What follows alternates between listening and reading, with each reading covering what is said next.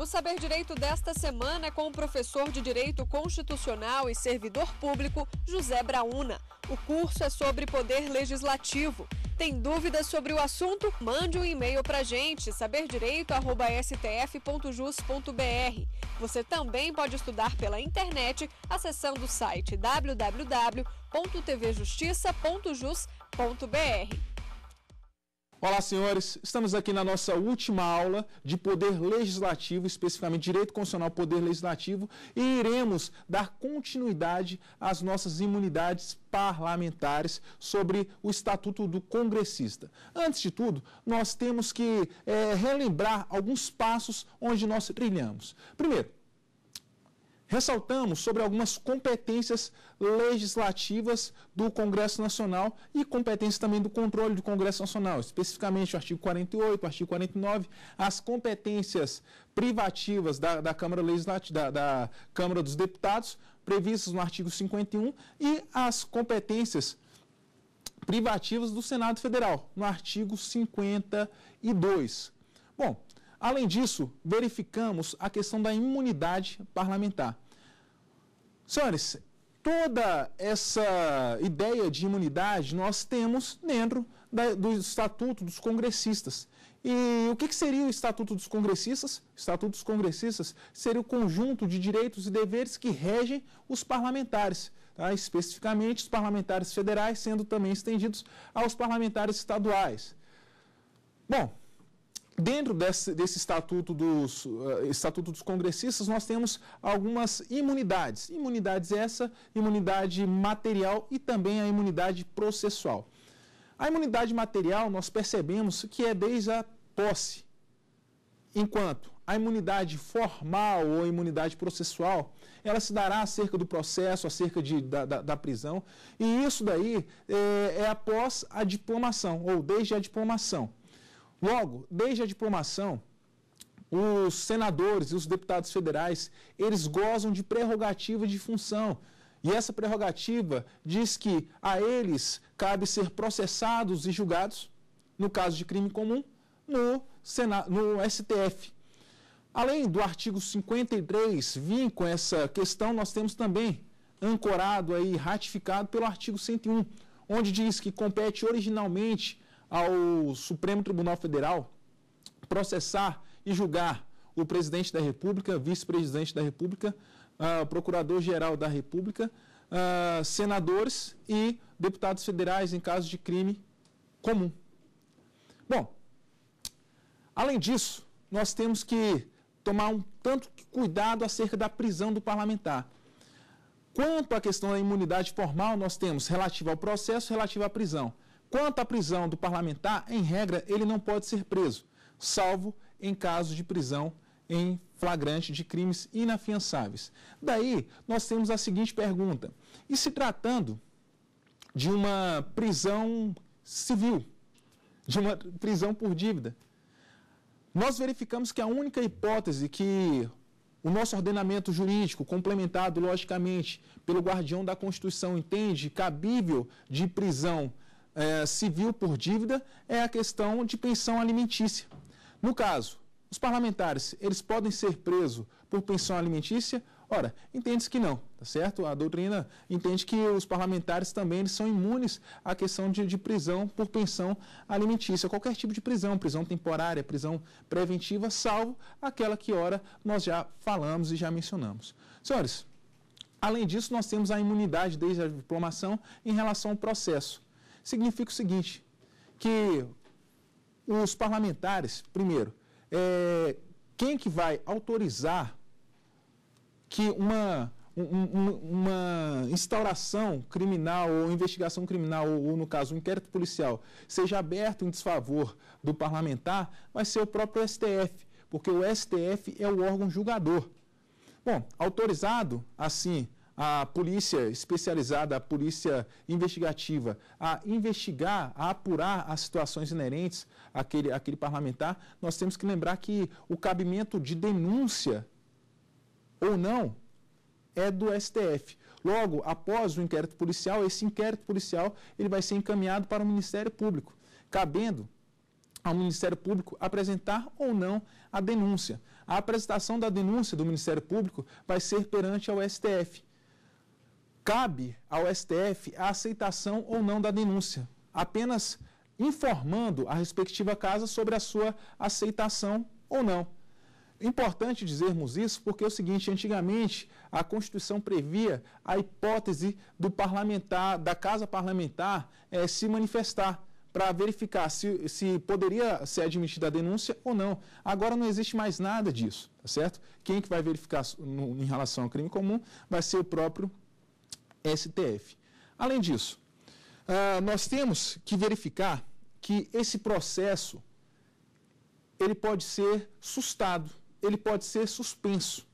E como é que se dá a suspensão do processo em curso? A suspensão do processo em curso em desfavor do parlamentar vai se dar da seguinte forma: algum parlamentar, e esse parlamentar deve ter representatividade na própria casa, ele vai requerer a sustação. Ele vai requerer a quem? Ele vai requerer a mesa diretora. Tá? Então, parlamentar com representação na casa vai requerer a mesa diretora a sustação do, a, a sustação do processo. Tá? Bom, e como é que se dará essa questão da sustação? Segundo o artigo 53 da Constituição, diz o seguinte, no parágrafo 3 recebida a denúncia contra o senador ou deputado por crime ocorrido após a diplomação, o STF, ou o Supremo Tribunal Federal, dará ciência à casa respectiva, que por iniciativa do partido político nela representado e pelo voto de maioria de seus membros, poderá, até a decisão final, sustar o andamento da ação. Como é que isso acontece? Senhores, o parlamentar ou com representatividade, ou partido político com representatividade no Congresso tem que ter pelo menos um naquela, naquela casa respectiva, ele vai ah, propor, requerer a mesa diretora.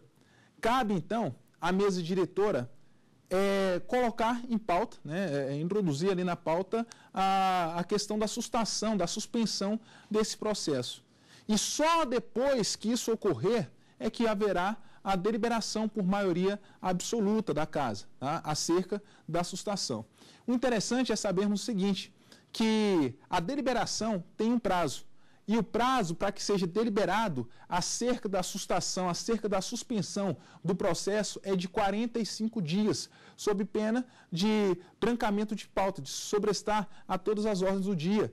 Tá? Ah, o importante é nós sabermos o seguinte: não se trata de 45 dias após o início da denúncia, não. Os 45 dias de prazo ah, da Casa Legislativa para sustar o processo, para suspender esse processo, vai ser contado a partir do requerimento à mesa diretora.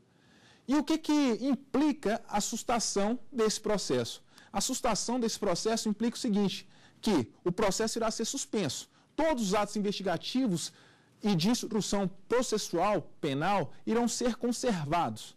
Porém, após ah, a saída ou o término do, do mandato por parte do parlamentar, cabe a transferência automática daquele processo à justiça comum. Porque, na verdade, senhores, o que, que nós temos? Nós temos que o parlamentar ele só tem essa imunidade formal por conta da sua prerrogativa de função. Ora, se acabou a prerrogativa de função, também acabou a imunidade. Da mesma forma, se o parlamentar, ou melhor, se uh, o indivíduo, o indivíduo, antes de ser parlamentar, ele comete um crime. Onde que vai ser processado e julgado esse crime? Ora, no início, na justiça comum. Está na justiça comum. É, em regra, está na primeira instância. Porém, se ele foi, ah, se, se, ele foi eleito e desde a diplomação, o que, que vai acontecer com aquele processo automaticamente? Aquele processo, de forma automática, ele irá ser encaminhado para a Suprema Corte cabendo então à Suprema Corte é, dar prosseguimento, aproveitando ou não aquelas partes processuais que já foram ali verificadas à busca da verdade. Cabe ressaltar que, no caso, se o crime ocorreu antes da diplomação, segundo o entendimento jurisprudencial, não cabe assustação. a sustação do processo só é cabível se o crime ocorreu após a diplomação, certo? Só se o crime ocorreu após a diplomação. Além disso, o pedido de sustação será apreciado pela casa respectiva, foi o que nós falamos, no prazo improrrogável de 45 dias do seu recebimento, pela mesa diretora. Mas, senhores, no caso, havendo sustação do processo, será que haveria continuidade, será que haveria andamento na, na prescrição? Não. Segundo, o que estabelece na Constituição diz: a sustação do processo suspende a sustação enquanto durar o mandato. Sabe por quê? O que, que muitas vezes acontecia?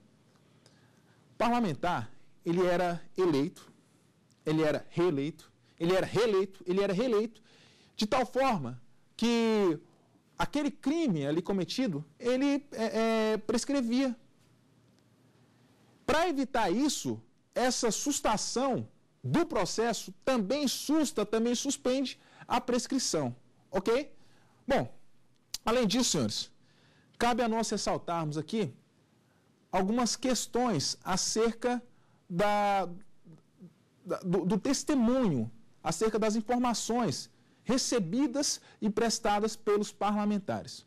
Ora, os deputados federais e senadores não serão obrigados a testemunhar por informações recebidas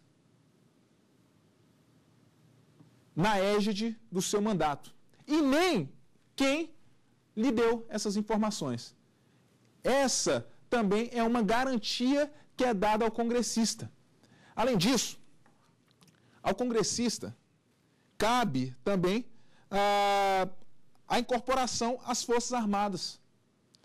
Porém, os militares que em tempo de guerra dependerá de prévia licença da casa respectiva.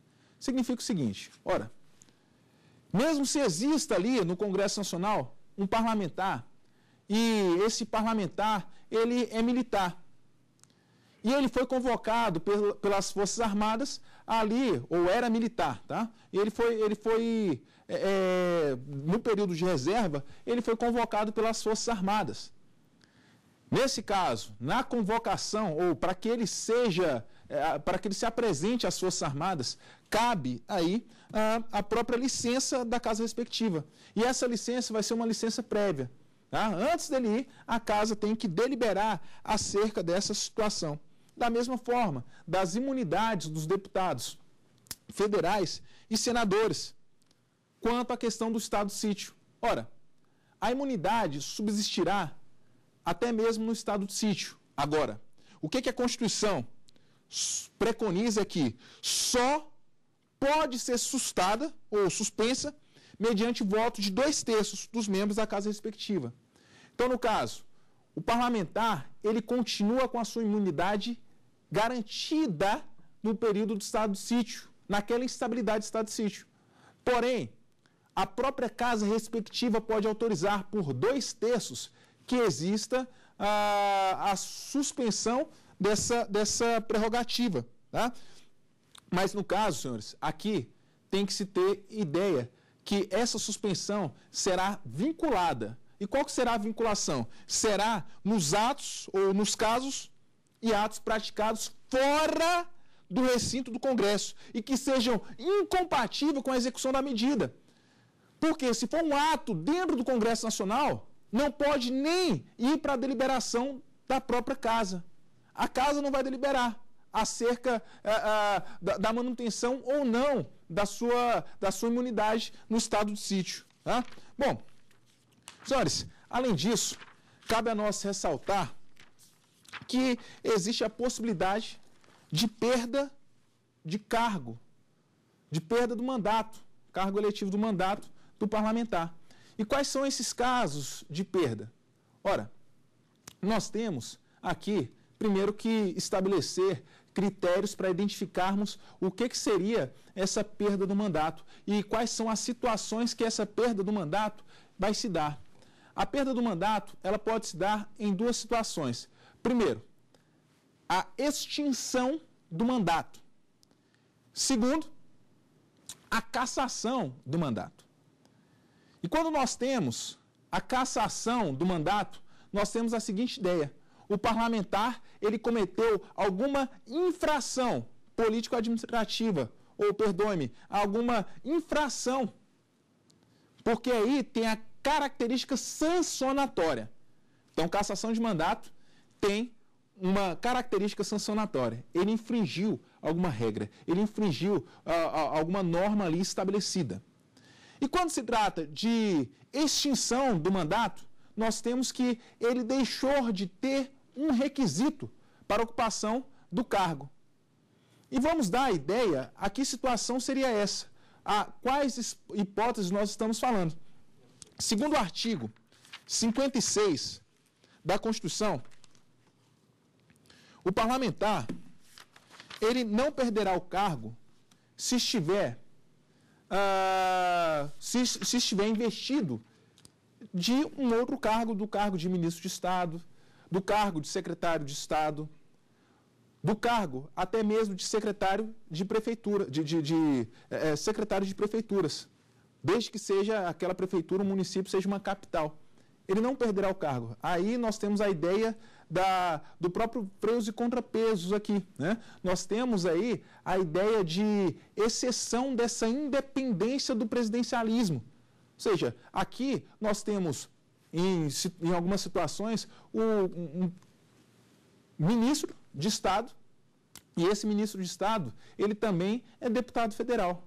Tá certo? Perceba que aí nós temos uma, uh, uma inter, uma, uma inter-relação entre os dois poderes, tá?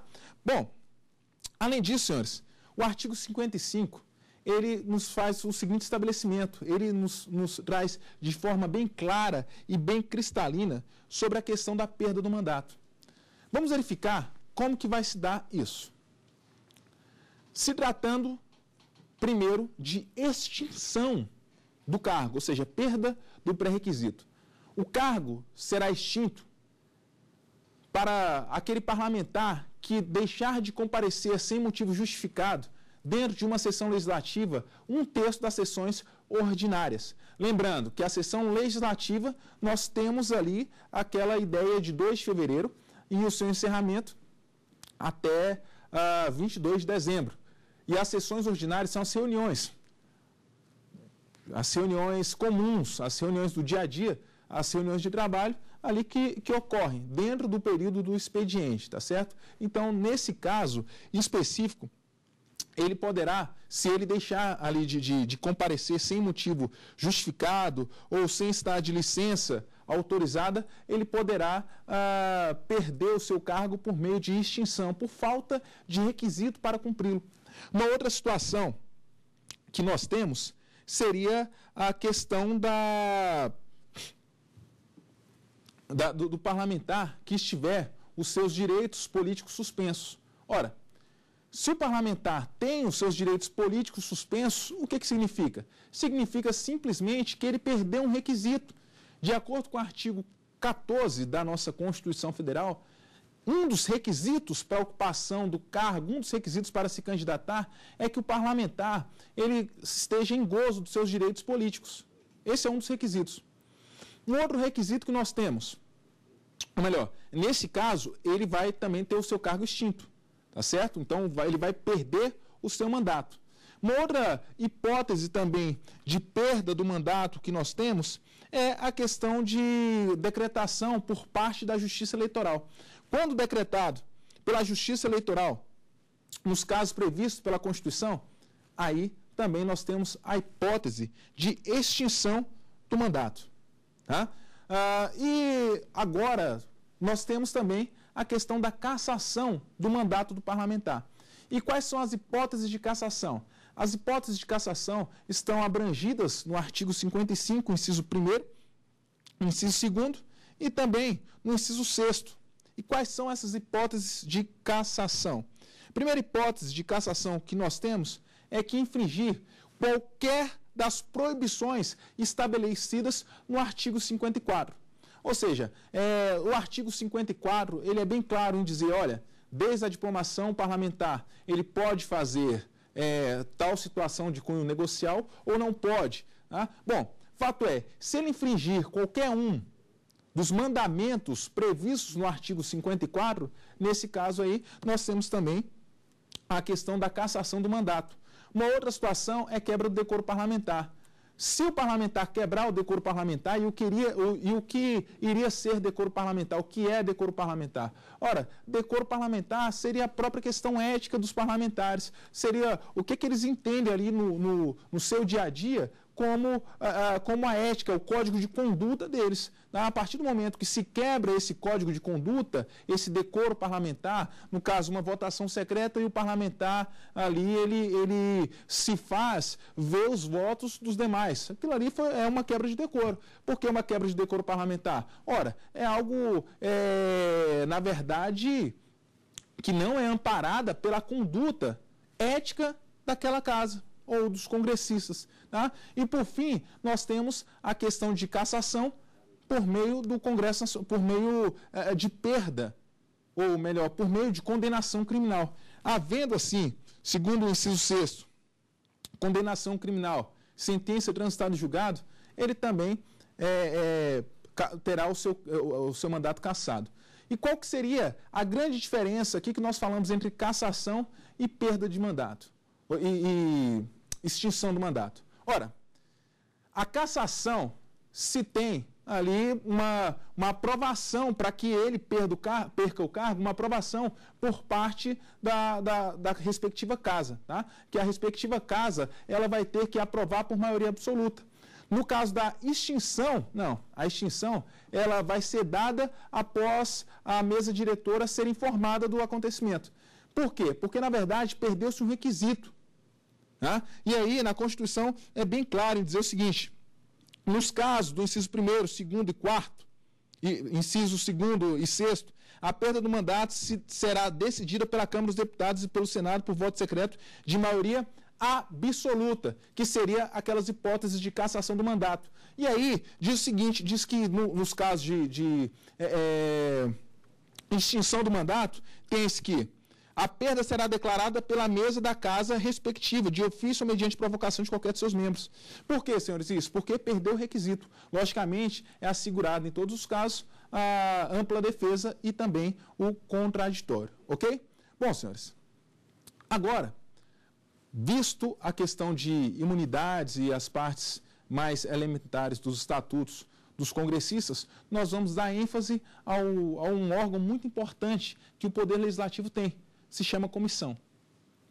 As comissões, elas são, na verdade, extensões da própria, da própria casa parlamentar. E essa extensão da casa parlamentar, ela pode ser uma extensão de forma permanente ou de forma temporária. Daí nós temos a ideia de comissões temporárias, são aquelas comissões que têm um prazo certo para se findar, ou se não, ou, ou, além desse prazo certo, ela se finda com a legislatura, tá? com o término da legislatura, e temos também comissões permanentes. E as comissões permanentes, elas são mais duráveis, elas são, na verdade, criadas e estabelecidas através de resoluções, enquanto as comissões temporárias, elas são, na verdade, requeridas para um prazo certo, por um certo período, ok? Ou seja, a comissão temporária ela é muito mais efêmera, enquanto que a, a, as comissões permanentes, elas são mais perenes, tá certo? São mais duradouras. Mas qual que seria, na verdade, a função das comissões? Ora, a comissão, ela tem uma função de controle, mas além dessa função de controle, ela tem também a função deliberativa. E quando eu digo uma função de controle, de fiscalização e também uma função deliberativa de uh, aprovação de leis, essa é a regra. Ela só vai deixar de fazer, isso todas as comissões, tá certo? Ela só vai deixar de fazer em algumas situações previstas no próprio regimento interno. E o que que diz a questão do regimento interno?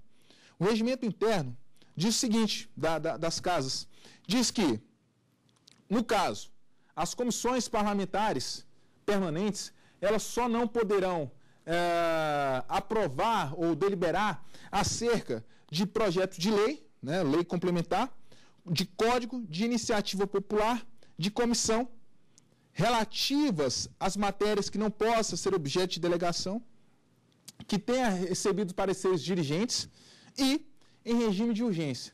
São os casos que ela não pode. Agora, em se tratando de matérias fora desse âmbito, ou seja, lei complementar, se for uma lei complementar que não tiver toda essa amplitude que nós mostramos aqui, aí nesse caso, a comissão permanente ou até mesmo a comissão temporária, ela pode estar deliberando sobre aquela situação. Percebam, senhores, que a própria aprovação de lei pode ocorrer no bojo da comissão, sem a necessidade de passar pelo plenário da casa. Embora o dispositivo constitucional diz o seguinte: diz que cabe, no artigo 58, cabe a comissão encaminhar para o plenário, se esse assim o solicitar por manifestação de um décimo dos seus membros. Então, se houver a solicitação e requerimento de um décimo de seus membros, aí deixa de ser aprovada no seio da comissão e vai a ser aprovada ah, na própria, no, no próprio plenário, tá certo? Bom, além dessas situações que agora falamos da comissão, nós temos aqui dois tipos de comissões é, que são muito importantes para nós. E são importantes por conta do seu aspecto constitucional, porque a Constituição ela já assim estabelece. Quais são essas comissões? São duas comissões, uma que seria temporária e a outra que ficaria entre temporária e permanente, que vamos tratar agora. Primeira comissão, a Comissão Parlamentar de Inquérito. Essa comissão parlamentar de inquérito nós vamos tratar logo mais. Segunda comissão, a comissão representativa. A comissão representativa ela tem uma grande importância porque guarda previsibilidade no artigo 58 e parágrafo 5 da Constituição, sendo uma comissão é, um tanto que diferenciada. Por que um tanto que diferenciada? Ora, ao mesmo tempo que ela aparenta ser temporária, porque ela tem início e se extingue, a sua composição é temporária, porém é uma comissão que sempre existe nos parecendo até mesmo ter características permanentes. E por que isso? Porque essa comissão representativa, ela vai ser responsável por representar o Congresso Nacional, o poder legislativo no seu recesso. Ah, então, se ela é responsável por representar o poder legislativo no seu recesso, o próprio Congresso Nacional, ela também é composta de membros das duas casas, sendo que existem sete senadores que a compõem e 16 deputados federais que a compõem, tá certo? Então percebam que aqui existe uma composição híbrida. Agora, uma importante comissão que se tem é a chamada comissão parlamentar de inquérito. Vamos para algumas características dessa comissão. Primeiro, é uma comissão temporária. Se eu digo que é uma comissão temporária, ela tem que ser criada por meio de resolução ou requerimento? Por meio de requerimento. Qual é ou a quantidade de parlamentares que devem requerer uma comissão parlamentar de inquérito. Ora, o requerimento deve ser de um terço dos parlamentares. Se for da Câmara dos Deputados, parlamentares da Câmara dos Deputados, os deputados federais. Se for do Senado Federal, senadores. E se for uma comissão mista, é, deve ser de forma também híbrida, tá? Além disso, nós temos que a comissão ela deve ser por prazo certo, essa comissão parlamentar de inquérito. Por quê? Por conta da sua natureza temporária. Logo, ela tem de ser de prazo certo, porque ela vai se findar com a conclusão do seu objetivo ou naquele prazo, podendo até mesmo ser prorrogado, como preconiza a, o regimento interno da Câmara dos Deputados e também do Senado Federal. Um diz que seriam 120 dias, o outro assim não estabelece, mas diz que pode haver prorrogação. Além disso, a comissão parlamentar de inquérito, ela deve ser para apurar fato certo, ou, perdoe-me, fato determinante, fato determinado. Significa que não pode existir uma comissão parlamentar de inquérito de forma abstrata. Ah, vamos investigar a corrupção do Brasil. Não, tem que ser um fato incisivo, um fato concreto, ok? Bom, Verificando isso, antes de adentrarmos em alguns aspectos da nossa comissão parlamentar de inquérito, vamos receber algumas perguntas dos nossos telespectadores. Pois não? Gostaria de saber se existe direito de contraditório em CPIs. Bom, quanto ao direito de contraditório na CPI, nós temos que não existe o direito de contraditório. Ora, a CPI ela está para um inquérito criminal. Ela vai ter a finalidade de uh, subsidiar a própria denúncia do Ministério Público se assim ocorrer, se assim for necessário. Então, justamente por isso que não tem a amplitude de, de, de, de contraditório na própria CPI. Agora, segundo uma parte da doutrina, o que, que nós temos, assim como no próprio inquérito policial, nós temos aqui a ampla defesa. Mas o contraditório não. A ampla defesa sim, tá certo? E aí quando se diz ampla defesa, são todos os fatos para mostrar a verdade real, a verdade da não culpa do indivíduo. Agora o contraditório é contradizer os fatos. E aí, nesse caso, a CPI ela vai ser um tanto que inquisitiva. E justamente por conta do seu cunho inquisitivo, não é, vai ser a, a, abrangido ali a questão do próprio contraditório. Cabe ressaltar que as CPIs elas têm o poder de autoridade judicial, poder de investigação de autoridade judicial. Primeiro, cuidado, não é autoridade policial. Por que, que eu digo isso? Ora, alguns alunos é, têm uma dificuldade de entender essa questão da autoridade judicial, principalmente quando não, não está é, vivendo nisso, a autoridade judicial e a autoridade policial. Quando se diz de autoridade judicial, estamos fazendo menção ao juiz, estamos fazendo menção aos magistrados. E quando se fala de autoridade policial, estamos fazendo menção ao delegado de polícia. Então, nesse caso, o poder investigativo da Comissão Parlamentar de Inquérito são aqueles mesmos inerentes aos poderes investigativos da autoridade judicial, ao juiz. Também não ao Ministério Público, ao juiz. A minha pergunta é: mas quais são essas? É, é, quais são esses poderes investigativos de autoridade judicial? Bom, os poderes investigativos de autoridade judicial são os seguintes: são aqueles no bojo, ali no meio da instrução processual penal, que se busque de fato a verdade real, a verdade material. Então, todos os, os requisitos que se tem e todos os poderes de uma autoridade judicial, em regra, a CPI tem. Mas, ora, estou mostrando, estou enfatizando que são aqueles poderes investigativos de autoridade judicial, no bojo do processo. Agora, algumas algumas uh, atribuições ao próprio Poder Judiciário, à autoridade judicial, que guarda reserva de jurisdição, aí não. Porque quando se diz jurisdição, se diz a questão não somente de julgar, mas sim que existe uma ordem judicial e essa ordem judicial, a própria Constituição, ela reservou para o juiz para aquele órgão de competência jurisdicional, para aquele órgão que tem a capacidade e a competência típica de uh, uh, ter as suas decisões definitivas, que não é o caso da CPI, tá certo? Então, cabe a nós salientarmos essa situação. O que, que a CPI pode ou não fazer?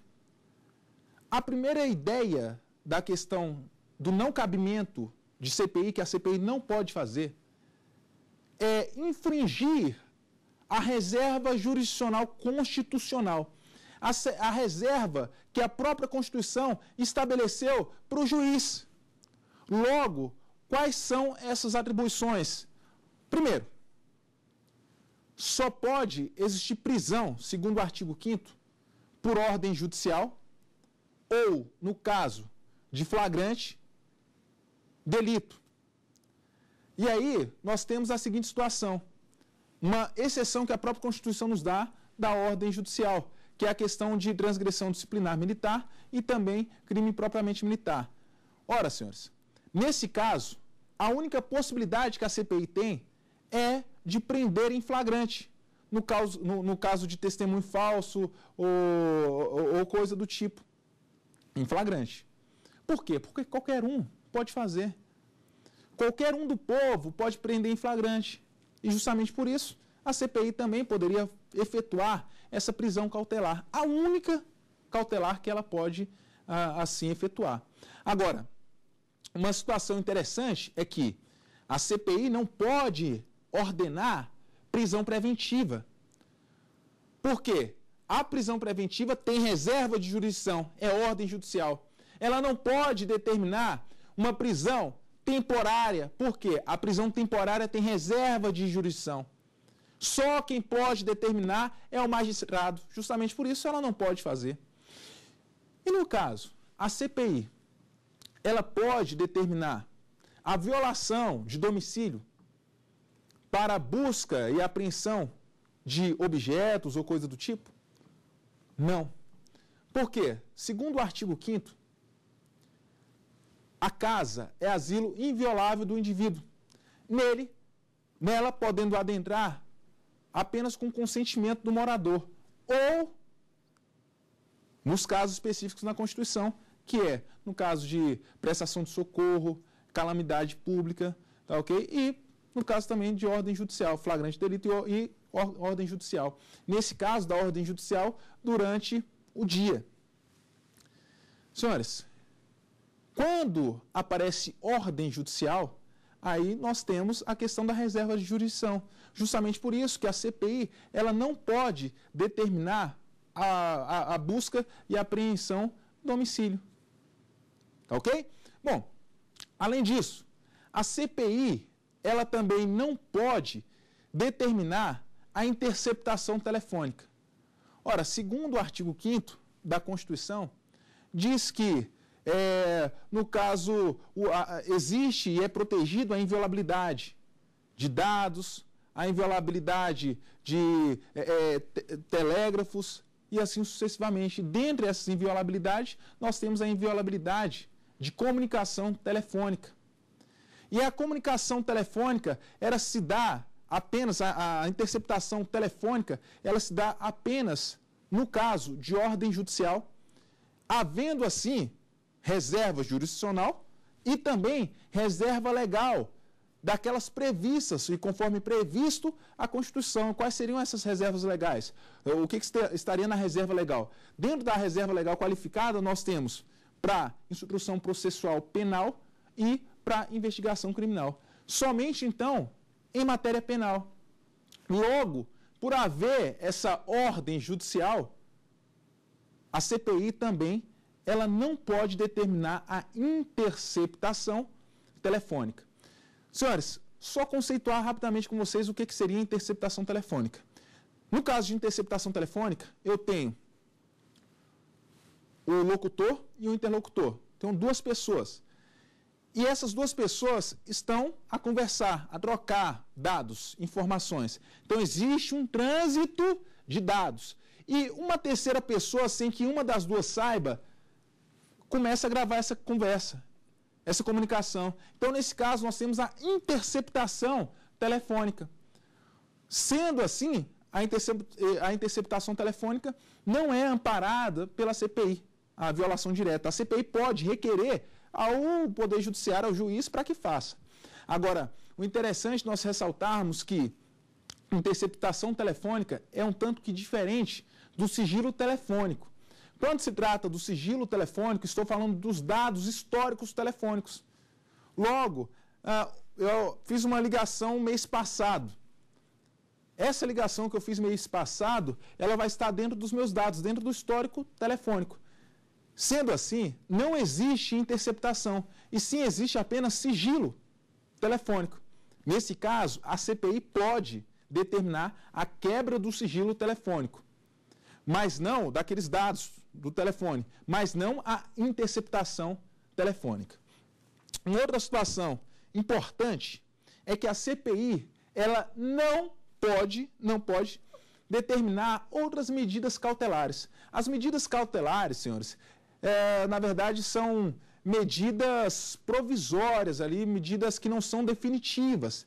E essas medidas, elas são um tanto que jurisdicionais. Sendo medida jurisdicional, é, é, sendo uma medida jurisdicional, o que, que nós temos aí? Nós temos que, apenas para que se dê cumprimento, tem a necessidade do juiz, da determinação do juiz. Então, a CPI, ela não pode determinar arresto, não pode determinar sequestro de bens, não pode ah, determinar hipoteca de bens do investigado e assim sucessivamente. Além disso, a CPI ela não pode impedir que o investigado saia de uma comarca ou mesmo de um país. Por quê, senhores? Nesse caso, são medidas cautelares diversas da prisão. Então, sendo medidas cautelares diversas da prisão, também cabe ao, a, a, ao juiz fazer. Tá? Então, tem, acaba tendo uma reserva de jurisdição. Uma outra situação, a CPI ela não pode obstaculizar a, a defesa técnica, a defesa do indivíduo, por meio de advogado. Tá? E quando eu digo é, é, obstaculizar a defesa, seria obstaculizar o próprio advogado. Então, o advogado ele pode acompanhar as, as sessões, tá certo? Logicamente, vamos lembrar, não se tem ainda o, o contraditório, mas, os, mas o advogado ele pode estar acompanhando todas as sessões, tá certo? Bom, no caso, além disso, a CPI ela não pode quebrar o sigilo imposto a processos de segredo de justiça. Nesse caso também cabe apenas ao magistrado fazer, tá? quebrar ah, o segredo de justiça. Bom, mas vamos para algumas situações em que a CPI pode fazer. A CPI ela pode convocar ministros, pode convocar as pessoas para deporem, autoridades e também é, é, civis para deporem, é, autoridade, autoridades e também pessoas do povo para deporem perante a sua comissão. Além disso, a CPI ela pode determinar a quebra do sigilo bancário, a quebra de dados. A CPI ela também pode, e aí é uma, uma dicotomia que nós temos, mas a jurisprudência já tem entendido isso, que a CPI ela pode determinar a condução coercitiva. Mas coercitiva de quem? Coercitiva de testemunhas. Sabe o que, que significa, senhores? Significa o seguinte: que no caso existindo uma testemunha, aí sim, existe ali a possibilidade da CPI determinar que a polícia vá levar, que ele vá sob vara para testemunhar. Agora, e se tratando do acusado? Não. Nem mesmo o juiz pode fazer o acusado determinar que o acusado compareça sob vara, com medida coercitiva. Logo, a CPI ela também não pode fazê-lo, tá certo? Bom, vamos verificar uma pergunta dos nossos alunos. Vamos lá? Gostaria de saber se os poderes de investigação que o STF reconhece às CPIs se estendem para CPIs estaduais. Bom, no caso, para CPIs estaduais também vai ser estendido o próprio, o, o próprio poder é, investigativo do STF, ou, perdoe-me, o poder investigativo de autoridade judicial a elas. É importante nós sabermos é, quanto a essa relação de CPI estadual e de CPI uh, federal é o seguinte. Senhores, a CPI estadual, a, a abrangência dela vai ser o Estado, aquele Estado específico. Enquanto a CPI federal vai ser uma CPI republicana, vai ser uma CPI a nível nacional. Por que, que nós temos que levar em consideração essas duas situações?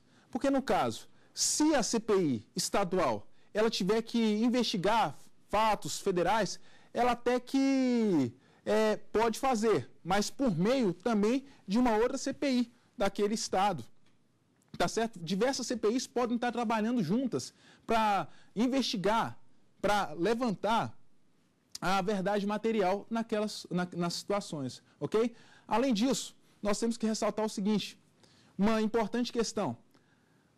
A Constituição de São Paulo ela estabeleceu um dispositivo que dizia que para a, a, criação de uma CPI seria necessária maioria absoluta, aprovação de maioria absoluta dos seus parlamentares, além daqueles requisitos previstos na Constituição. Ora, o STF entendeu pela inconstitucionalidade do dispositivo daquela, daquela Constituição Estadual. Visto que, senhores, nesse caso, estaria estreitando a atuação da CPI, da criação da CPI. Ora, a CPI, na verdade, é um direito de minoria. E justamente por isso requer um terço dos parlamentares. Ok? Bom, vamos aí para a nossa terceira pergunta. Gostaria de saber se as CPIs podem obrigar os membros do Poder Judiciário a comparecer para prestar depoimento. E os membros do Ministério Público? Bom, a CPI ela pode determinar que os membros do Ministério Público, assim como os juízes, eles é, prestem esclarecimentos. Só que, nesse caso, deve existir uma hora marcada ali para se esclarecer aqueles fatos, ou até mesmo por escrito. Agora, se for acerca de, do, do seu ato jurisdicional, aí não. No caso, se for acerca do, da sua atividade típica, no caso do Ministério Público, acerca da denúncia, no caso ah, do juiz, acerca da sentença ou da decisão prolatada, aí no caso não pode. Por que, que não pode? Por conta da interferência entre os poderes. Nós temos que sempre, sempre, sempre ressaltar que existe no artigo 2 a consagração dos poderes da União, que são independentes e harmônicos entre si e que isso daí se reflete a todos os entes políticos. Sendo que o poder legislativo ele não pode interferir no poder executivo e que não pode interferir uh, no poder judiciário, conforme nós falamos lá na, na nossa primeira aula, ok? Bom, senhores, é, estamos chegando, assim, ao final dos nossos encontros e verificamos que foi um tanto que produtivo o nosso poder legislativo, esse nosso trabalho do poder legislativo. Nós falamos aqui sobre os, uh, o princípio da separação dos poderes, a visão clássica, a visão moderna e a visão contemporânea. Além disso, nós também podemos verificar que o presidencialismo foi adotado no Brasil, embora a nossa Constituição tenha grandes marcos do parlamentarismo. Ah, uma outra situação importante é a questão do bicameralismo. O bicameralismo pode ser bicameralismo igualitário ou bicameralismo desigual. Além disso, nós verificamos o funcionamento do poder legislativo. Lembrando que o funcionamento do poder legislativo se dá através de legislatura. E, por fim, as comissões comissões permanentes, comissões temporárias e, especificamente, aqui finalizamos a nossa aula com a comissão parlamentar de inquérito, ok? Bom, gostaria de agradecer a todos os senhores que nos acompanharam durante os cinco encontros ou que nos, nos acompanharam durante esse encontro. Foi uma satisfação muito grande estar aqui a dividir o ofício e a, a, a dividir o chamamento de mestre com vocês. Muito obrigado. Tem dúvidas sobre o assunto? Mande um e-mail para a gente, saberdireito.stf.jus.br. Você também pode estudar pela internet acessando o site www.tvjustiça.jus.br. .br